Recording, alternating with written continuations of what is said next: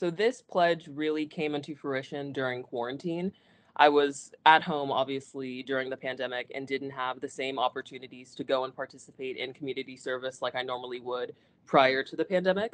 And I wanted to incorporate something that combined both of those passions and interests together, being community service and volleyball. So from there, I wanted to do this 100% myself. So I really saved all of the birthday, Christmas, holiday, any sort of monetary gift that I received. And I saved it just because I do recognize how expensive it is to play club volleyball, especially after COVID when there are so many tournaments back to back. I want everyone to be afforded the same opportunity that I've been afforded since I was 11 years old and just doing pretty much everything that I can to make the sport more inclusive for everyone.